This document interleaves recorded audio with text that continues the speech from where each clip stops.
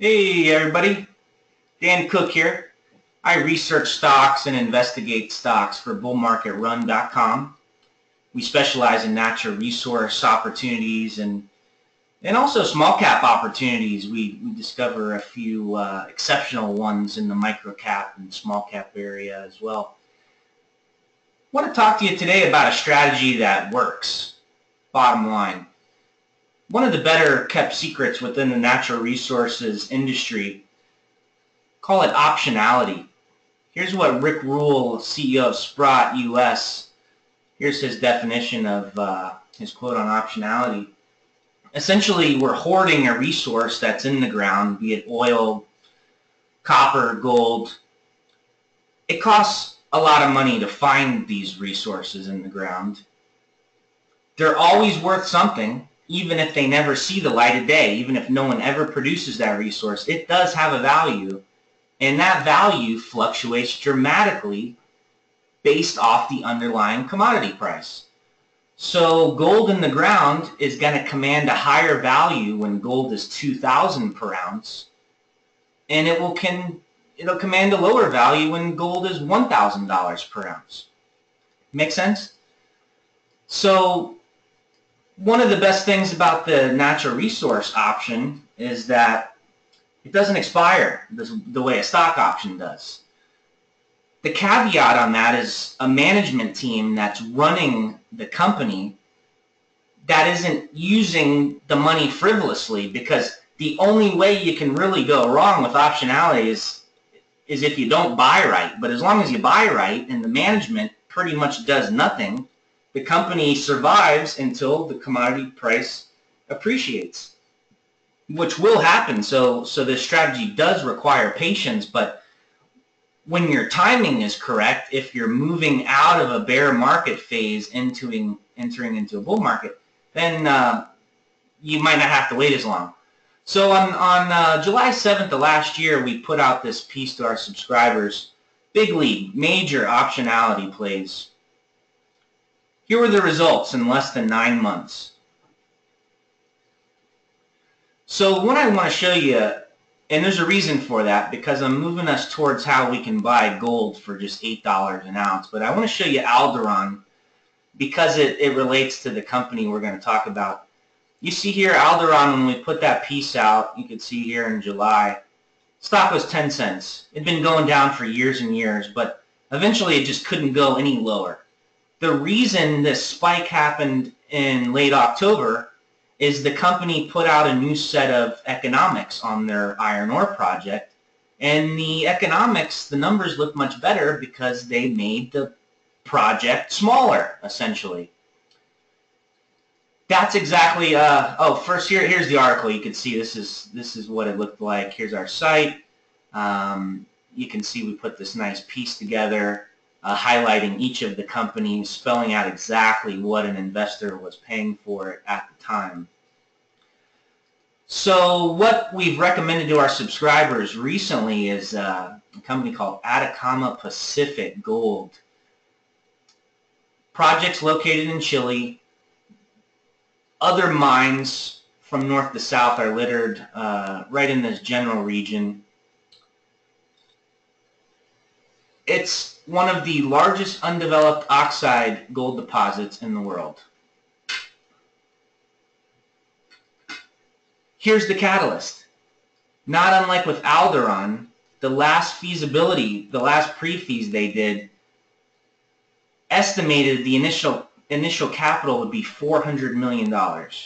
So, so now, not unlike Alderon, what sparked that company's uh, stock to spike up, Atacama is doing the same thing. So, so one thing we like, again, our risk we feel is lower here because management has a 30% equity stake. So their interests should be aligned with ours, the sophisticated speculator. Any money they spend should be focused on making these economics look better in a smaller project. So that's exactly what they're doing. Most likely this, you're going to take $100 million off of that price as they begin to look at opportunities to reduce that initial capital. This study should be done sometime in Q1 of 2018. And it's going to factor in a smaller plant, about half the size, 40,000 tons per day instead of 80,000. The input costs of many other things have come down as well, like fuel, electricity, labor, construction equipment, just to name a few. So most likely, the economics are going to look better on this project. And here is the proven and probable reserve. 0.4 grams a ton, almost 4 million ounces. Again, one of the largest undeveloped oxide deposits in the world. And this grade is not unlike the other mines that I'll show you in a moment in the area. So we're not even going to factor in that there's another million and a half ounces estimated worth of measured and indicated, but we're just going to talk P and P because that's the highest confidence level of a resource. So here's how you gain exposure to gold in the ground for less than $10 per ounce. The market cap of Atacama Pacific right now at 40 cents a share is $30.3 million. And I just showed you that resource, 3.7 million ounces. So when you divide those two numbers at 40 cents per share, we, the sophisticated speculators, are buying gold in the ground for just a little over $8 per ounce. That's a great price because at some point there's a high likelihood this resource will be worth at least $25 per ounce, maybe more. That means a triple from here because we just need to go back a few years and look at other M&A activity where companies and investors paid 25 and even upwards of $100 per ounce for gold in the ground. Okay, just wrapping up here, I want to show you this chart. Oh, first, let me show you these others. Uh, so just real quick, here's the Maricunga, the star in the middle. All these red dots are significant gold mines and deposits in the area. These other stars are also Atacama's projects. Just throw those in for free. Not even focused on those at the moment, but you never know. And this satellite imagery just gives uh, a little better idea of this north uh, trending Maricunga belt you see a major miner here, Kinross, has, has got a few to the north. Here's Atacama's big block there. Um, Kinross, Yamana, another major. And as we go down, clearly there's other mines in this area from north to south. Atacama Pacific is uh, pretty much smack there in the middle. Most likely these guys, we don't necessarily want them to move this project forward. We just want them to minimize costs show us better economics, and just wait patiently until one of these other majors just has to own this project. And when they do, they'll most likely be paying us $25 per ounce or more for what we're buying today for 8 Let me just wrap up with the chart. Again, we like when the, the stars align. Fundamentally, we think we're, we're getting a good deal. Uh, technically, obviously this stock has been an absolute disaster for anyone that's owned it over the last five, six years.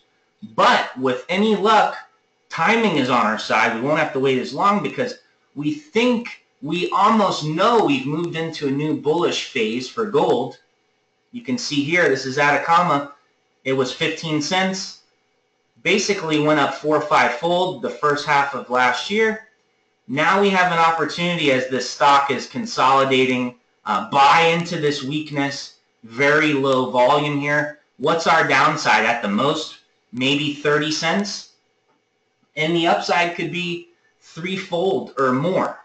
So those are the risk reward characteristics we just love. And that ultimately is what this whole investment business is about, is relative risk versus reward. We're uh, pretty good at that over at uh, BMR. I mean, if you're watching this and not already a subscriber, just go ahead and come over to bullmarketrun.com and, and sign up. There's nothing to lose. If you're not completely satisfied after six months, we'll just give you your money back. No questions asked. Combined, we've been at this for over three decades. And look at our track record. This website has daily information updates going back years and years. Now we're writing more and we're doing more audio and video as well. Time is valuable, so go ahead and subscribe today. It's risk-free and uh, keep checking back in. We'll talk to you later.